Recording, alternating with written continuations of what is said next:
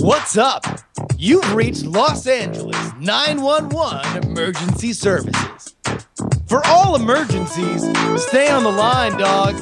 It's 911. They're all important. If you would like to hablo español, hit numero dos. Your current wait time is 55 minutes.